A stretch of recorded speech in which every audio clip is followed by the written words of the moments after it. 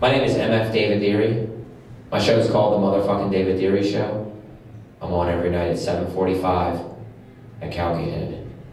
And can you tell me what kind of relationship would you say you have with your name? I like my name, but I, I've had a lot of nicknames growing up. Uh, when I was younger, they called me Professor Dad because my nick, my uh, my uh, my initials you know, my name is David Anthony Deery, so my initials are Dad. So they called me Professor Dad in high school. And then uh, when I was around 18, I got the nickname Beaver uh, because these girls were over my house. I was friends with these girls, but they lived in a different school district, and one girl's they were very working class.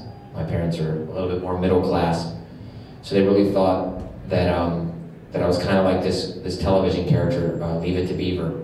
It's like 50s television character, real nerdy, kind of a middle class, white picket fence American character called Beaver. So they called me Beaver. Uh, they were on acid, by the way. So, uh, but yeah, the name stuck.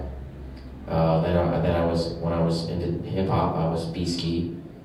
Uh, but deep down in my heart, I've always been David. I like my name because I'm named after my uh, my mom's grandfather.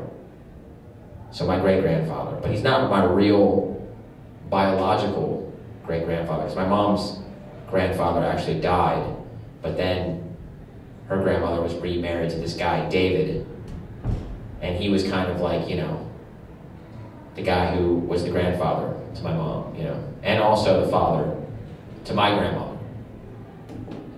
So yeah, I like my name.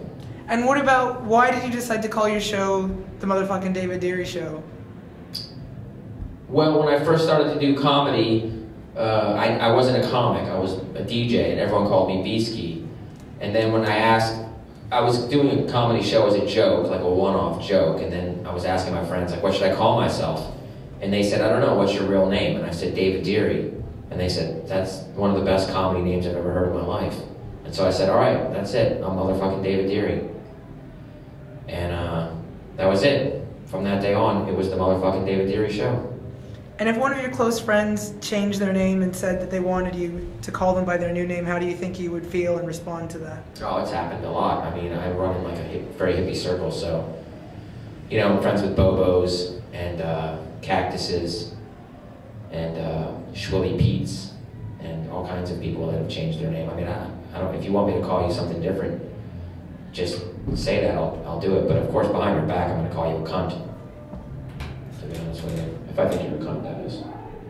And the last question is the last thing is if you could ask me a question about why I changed my name that I will answer in the show today. I would like to know if you lost any friends to your name change. Friends who thought, I'm not friends with Paula, I'm friends with Sarah. Thank you, David Deery. Thank you, Paula.